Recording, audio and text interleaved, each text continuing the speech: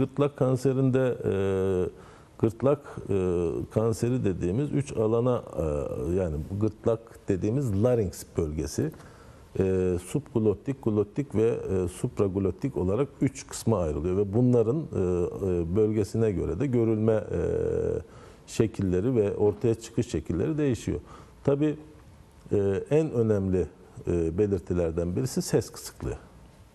15 günden uzun süren ses kısıklıklarından mutlaka bir hekime müracaat edilerek bu ses kısıklığının neye bağlı olduğunun ortaya konması lazım. Tabii e, ses kısıklığı olduğunda faranjit de olabilir, e, basit bir hastalığa bağlı olabilir. Orada bir ödem gelişmiş olabilir çeşitli nedene nedenlerden dolayı. Onlara da bağlı olabilir ama tabii ki kanser riskini göz ardı etmemek için mutlaka ve mutlaka bu hastaların e, bir hekim özellikle 15 günün üzerinde süren ses kısıklıklarında bir hekime müracaat etmeleri uygun olur. Bundan başka en e, önemli belirtilerinden birisi de boyunda şişliktir. Boyunda şişlikle gelen bir hastanın o boyundaki şişliğinin neye bağlı olduğunu mutlaka teyit etmek lazım. Yani o bir lenfoma da olabilir. O bir enfeksiyona bağlı bir sebep de olabilir. Ak- e, Bu gırtlak kanseri dediğimiz olaya bağlı da olabilir. Bu şekilde e, mutlaka bu şekilde gelen hastaların bir hekim kontrolünde gerekli tetkiklerinin yapılarak e, bunun neye ait olduğu mutlaka ve mutlaka e, teyit edilmelidir. Ayrıca solunum yolları üzerinde yer alması nedeniyle kitlenin büyümesi ve solunum yollarını tıkamasına bağlı nefes darlıkları olabilir.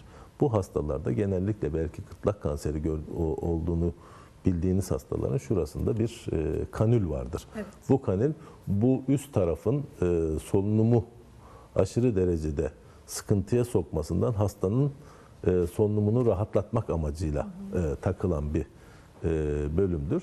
Daha sonraki periyotlarda bu hastaların e, oradaki tümörleri küçülüp solunumu e, rahatladıktan sonra bu kanül çıkartılabilir. Bazen e, bu gırtlak kanseri hastalarının ameliyatından sonra kalıcı olarak e, takılıyor o kanüller bazen sorun oluyor mu hocam? beslenmesine alışıyorlar. Hastalar e, kulak burun boğaz polikliniğinde yutma egzersizleriyle beslenmeye e, tekrar e, yönlendiriyorlar.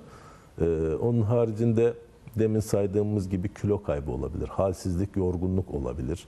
Hastalığın yaygınlığına bağlı olarak e, değişik derecede e, semptomlar ortaya çıkabilir. İşte dediğim gibi e, kemiklere yayılırsa ağrıları olabilir. Beyne yayılırsa demin saydığımız o e, nöbet geçirme gibi, felç gibi, işte çift görme gibi, duyu kulakta çınlama gibi bir takım sebepler olabilir. E, bu şekilde e, ortaya çıkabilir ama bunların hepsi geç e, e, görülen semptomlardır.